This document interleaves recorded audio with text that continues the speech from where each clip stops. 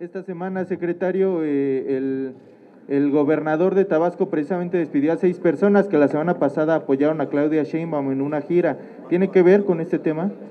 Pues yo creo que no, pero en todo caso habrá que preguntarle al gobernador, pero pues el gobernador de Tabasco y el gobernador de cualquier estado del país pues tiene el derecho a tomar las decisiones y hacer ajustes en sus equipos de trabajo cuando lo consideren conveniente.